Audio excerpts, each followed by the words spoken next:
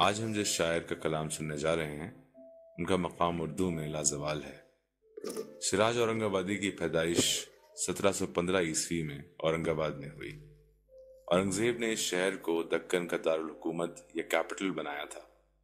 ये दौर, यानी कि 18वीं सदी, उर्दू शायरी का परवरदा दौर माना जाता है।